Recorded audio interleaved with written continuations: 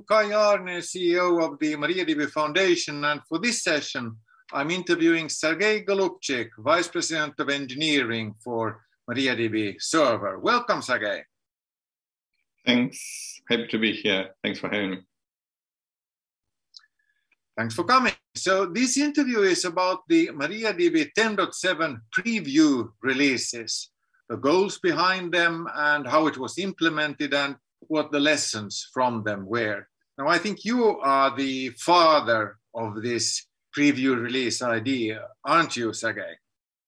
Well, I wouldn't say that. It was lots of people involved in, well, designing and implementing this thing. Uh, so, if I don't know, if you would think about it as a avalanche, then I was the one who thrown the first snowball, but then it was definitely not only me, it was a collective effort. Okay, so you threw the snowball on this one. So I will ask you about your role, uh, which explains to the audience why you were the one throwing the sn snowball. But let me first set the stage a bit by pointing out our earlier communication on this topic, and by our, I mean MariaDB Foundation. Uh, so uh, that background is two basic blogs and eight feature blogs on the preview releases from roughly two months ago. Those are not required reading in any way for this session, so you will, you will get a summary of them. Uh, but we will also look at how this experiment worked out since we now have two months of experience from the preview releases. Uh, the, pre, the big picture of the idea was presented in a series of two blogs in September, Challenges and Visions for MariaDB Server and 10.7.0 comes as preview releases. And then we had eight detailed blogs, and I will briefly mention them too also for two reasons. So one, we don't want to be too abstract in this session and uh, hence go into concrete issues. But also, while we're at it, we also want to promote the features of MariaDB 10.7, as I think they are quite exciting. So there's eight of them. The first one was UUID data type, and there's a blog about this universally unique identifiers by Daniel Black. Number two is natural sort, and natural sort means that a string A10 comes after A9 and not like it would in alphabetical order between A1 and A2. And there's an uh, Anel Husakovic blog on that. The third one is about compression provider plugins, loading compression libraries on request at runtime, and that's by Robert Bindar. And then there's JSON histogram, to which I think we will return here. Op there's an optimizing feature, a blog by Vicențiu Ciorbaru. I had the pleasure to write a blog about Python-like string formatting, uh, so that's the S format curly brackets type of, of uh, string formatting, and that was the fifth one. The sixth is uh, a blog you wrote, Sergei, about convert partition, and that's a convenient and crash safe alter table syntax for partitioning changes. And then there was um, a password reuse check plugin blog, uh, which is about MariaDB forcing new passwords to be new by Ian Gilfillan. And the last one uh, out of the eight blogs was written by Eric Herman, our chairman, uh, miscellaneous features. One of them he was very much involved in himself. That was JSON equals, so that you can uh, compare whether JSON strings, which are uh, from a literal as, as a character-based uh, interpretation, they might be different from, but from a JSON perspective, they should equal each other. So, so that's it. That, that, that that's the background uh, backdrop that we have for this interview.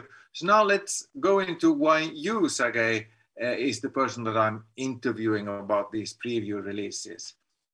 So I've always thought of you as a bit of an eminence grise, uh, a gray eminence working behind the scenes with, for example, Monty visible uh, to everyone and, and, and highly highly vocal, but you've been responsible for some of the most important decisions since 10 years before MariaDB even started. So, so um, your title is, is um, Vice President of uh, Server Engineering, but what's your role within MariaDB Foundation?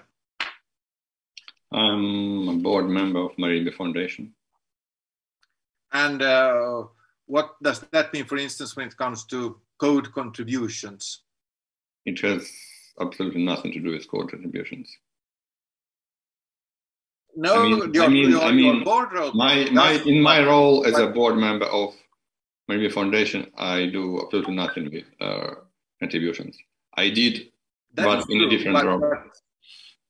So, in what in what capacity do you uh, are you involved in in code contributions? So, um, well, I love uh, community contributions. I think it's very important for MariaDB to have a thriving uh, de developer ecosystem with developers. And uh, for example, I participated in Google Summer of Code as a mentor since like 2008. But so I always wanted uh, MariaDB well to support to work well with uh, contributors, and because we are now on GitHub, it was mostly about pull requests, and maybe five years ago or something, that's when I started it's a rule that every pull request should be answered, well, should get the first answer in within a given reasonably short time frame. Doesn't mean it will be completely accepted within this time, but it should definitely get some attention. And there was a set of a procedure, process how to handle them, and we had a dedicated developer, Sergey Vojtovich, who was, well, besides many other things, was making sure that every pull request gets a needed amount of attention. And I imagine it might have been not fun every single time, but it worked uh, very well and it paid off. We have number of pull requests, it grew. We got a very active developer community, but that was, and now I don't do anything with contributions at all. It's completely on MariaDB Foundation and MariaDB Foundation developers. So I'm, I don't. I'll. Uh, so what about the similar? Yeah, excuse me.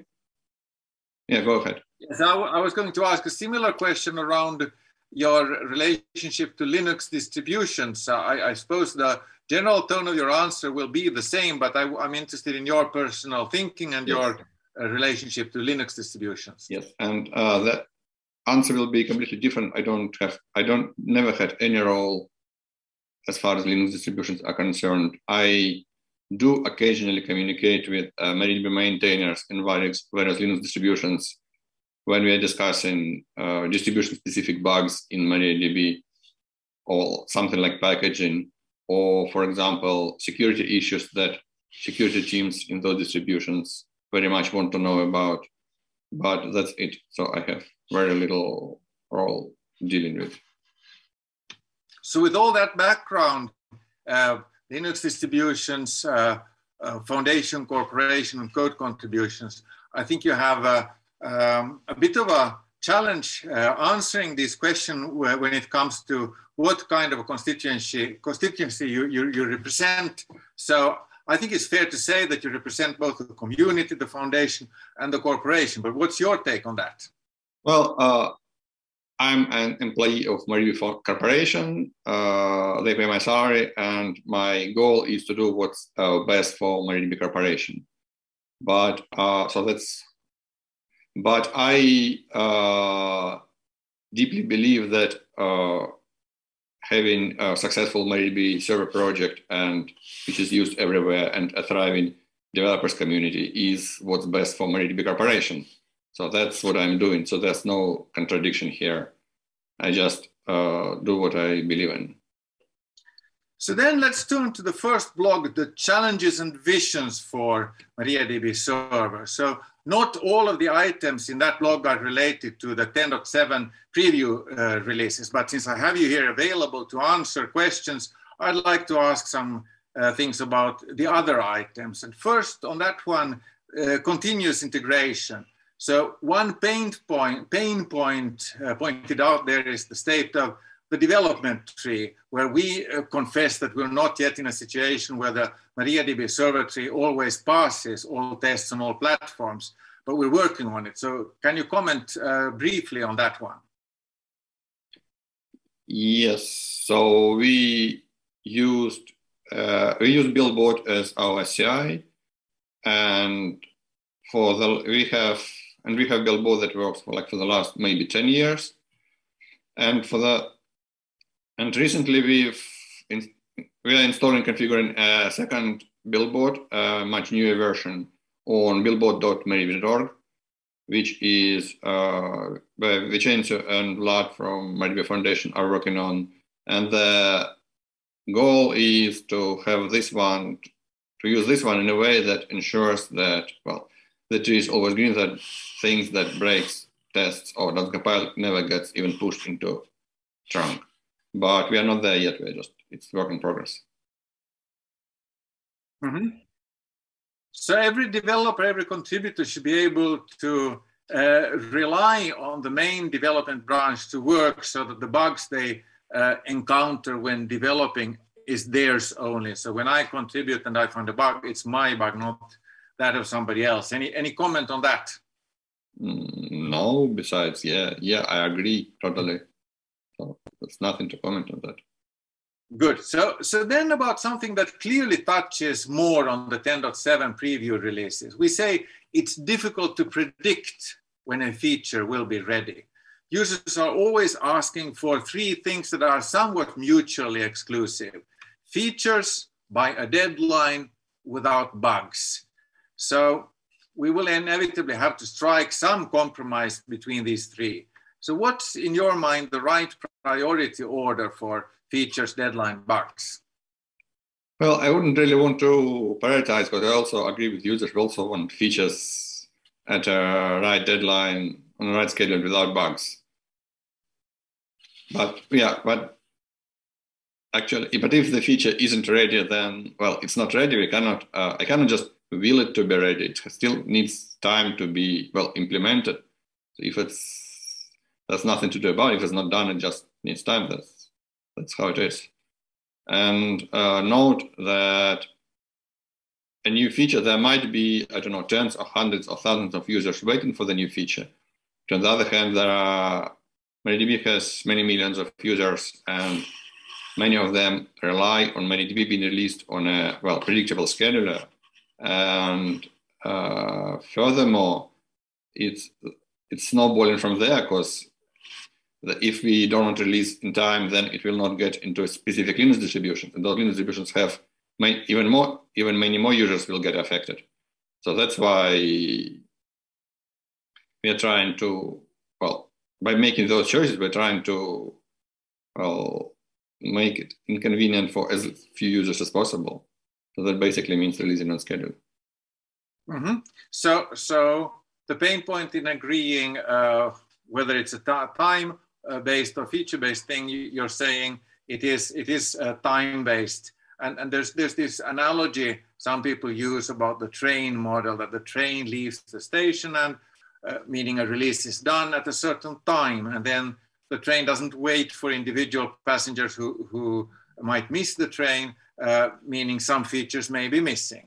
So we say that, that uh, missing a train is expensive, which sounds like a no-brainer. So why hasn't MariaDB always done that? Or has MariaDB all, days always done that? No, we started doing that in the last mm, six, maybe years. So, so, then uh, time-based releases must have some drawbacks. So what are those? Well, uh, if you use a train model and the train leaves a schedule, then you always risk that the train will leave, you know, half full. And if you are particularly unlucky, unlucky, it might leave even almost completely empty. This is not good for the company who's running the trains. Mm-hmm, mm-hmm. They want to sell as many tickets as possible. So then, why don't we have more frequent trains? Can we just not increase the number of train departures? I suppose you will say that has uh, drawbacks too.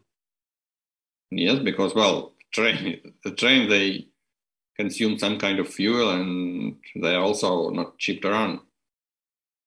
And as far in good going away from train uh, back to releases, then releasing too often again has its own costs of there's a cost in doing the release, there's a cost in maintaining the release.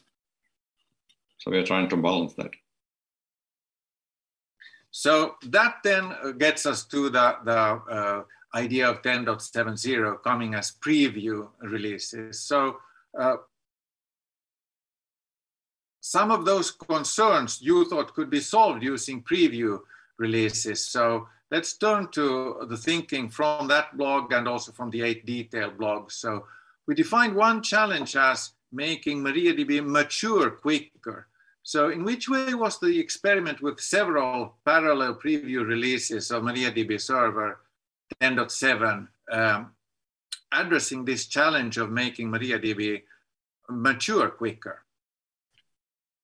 Well, that was it was actually addressing it on many different levels. But for example, so how we did it before, we had our feature branches that when features ready got merged into the trunk, then we release the trunk as MariaDB something alpha version. And then it's over the series of releases, it gets matured until it gets, well, production quality. And the risk always is that there's some particularly unlucky, bad designed, or buggy feature, and the whole trunk can mature only as fast as the worst feature in the trunk.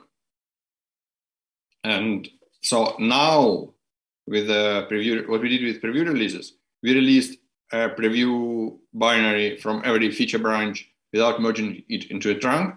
And then there were six weeks of internal testing to see how good the feature is and to somehow get a feeling of how fast it'll mature.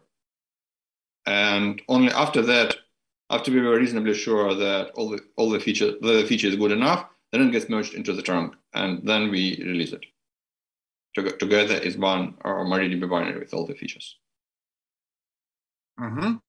So uh, one reason for doing that is that uh, I believe that we uh, there were two reasons for doing that. Then one is the congestion of merge hassle happening just before the release. That's an internal thing. Uh, but then you also mentioned this preventing um, that that if there's one feature that is not good enough, then it's like the, the one bad apple is not uh, contaminating, causing the whole basket to, to rot. Uh, and that would then mean that such features would not make it into the first normal merged release 10.7.1. Was that the idea? Yes, and this has actually happened. One of the features that you mentioned earlier, it did not make into the release because it didn't well it didn't pass the quality checks and which actually proves which it's said and uh, in a sense but also it shows that we are serious about the quality and if the feature even if we has shown the feature as a preview release but it didn't uh, make the quality check then we do not add it to MariaDB and so on it so then it, uh, one. it was a new chance whenever 10.8 uh, will happen i suppose yes it's if it'll get to a minimum re required stability level, maturity level, then it'll get into the next release. Mm -hmm. And uh, 10.7.1 has appeared as well, and it was, if I remember correctly, declared release candidate RC. Uh, now, what was the logic behind behind that? Such an early release with with uh, such a, a mature term. Yes, because we skipped alphas and we did preview releases. They went out with basically alpha quality. Although, as later testing has shown, they were much, many of them were better than alpha. And then we've spent uh, six weeks per every feature on internal testing, and we found and fixed uh, no less than 50 bugs in all those features before adding them to the trunk which was pretty much equivalent to what we had before on all those life cycle from alpha to beta and over to RC. So that's why the features that were added to the trunk and to the RC actually, they were much better than we usually push into the trunk, much more stable, much more mature because of this not uh, random testing in the wild, but actually targeted, targeted testing per feature. And those bugs that we found, there are bugs that were ne- never present in any of the releases. There are bugs that none of our users will ever have to face. And the result, we thought that the, the server is mature enough to be, well, close to what we could release as production. That's why it's called release candidate, because it was a candidate for the release eventually. Okay, so so I think that's that's the logic behind 10.7.0 and 10.7.1. So it seems like you're quite happy about how the experiment worked out. Is is that is that the case? Yes, I think in my opinion it went pretty well. Lots of bugs were found. Uh, features were that got pushed were much better than well in previous MariaDB releases. Uh, that got pushed merged into the trunk. They all got got to the same. They all got to be production quality by the time of the GA release. But this time, but this time we can get to GA much sooner because of this restructuring of efforts. And so yes, I think it was working pretty well. Excellent. That's that's good news. So, anything else you you wish to highlight on 10.7? I mean, what's your favorite feature in 10.7? Or do you have one? Mm, well, of course, for me as a developer, favorite features would be features I was personally involved in. I think the one that I like the most is it's not very visible to users, but it's the one with provider plugins because we always had this, say, dilemma. So we had numerous uh, compression algorithms inside the server for InnoDB, for, well, earlier in for TokuDB as well, for Mroonga, and for RocksDB. And the problem is that pretty much no user in the world, or almost no user, would need to use all of them. But on the other hand, there are definitely users who use every single one of them. So we cannot remove any of them because some users will, will be affected. But no user needs all of them. But on the other hand, because of this, because we have to ship them all, every user will need to install all the libraries for all the compression algorithms one will never ever use. And this is pretty much sounds like an unsolved problem, unsolvable problem. And in 10.7 we have solved it. That's what I like about solving an That's a good story, problem. and that's a good solving reason why it's. Problem. Yes. No, I was just saying that solving and an it's a good problem for it to be nice. your favorite story, favorite uh, feature. It's not just because you yourself were were involved. So that's the good one. Hey, uh, anything more you you wish uh, us to say on 10.7 or the release model? No, wait for the next release we hope it'll be good enough to be released. Excellent. Well, thanks a lot, Sergei Golubchik, for this. Thank you.